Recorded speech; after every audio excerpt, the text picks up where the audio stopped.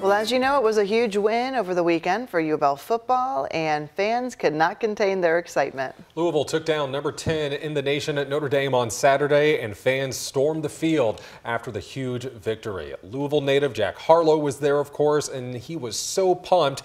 You could see him in the background of an ESPN interview with Jeff Brohm and Katie George, all three of them Louisville natives, which made for a pretty cool moment. And it took fans just a couple of minutes to head on over to Twitter with that image superimposed on the Mercer building downtown calling the fictional hometown banner Louisville's trifecta. I could see them doing it. I could too, because all three of those people have had such success, and they also keep their pride for Louisville, which I think means a lot to people. And I'm sure they intentionally sent Katie George here as well to cover it. Yeah, I mean, it's her home, and, and she knows all the faces. She knows the Brohms family story. Jack Harlow there in the background, that was funny. if you have a reason to smile, text them to us at 502 582 7290.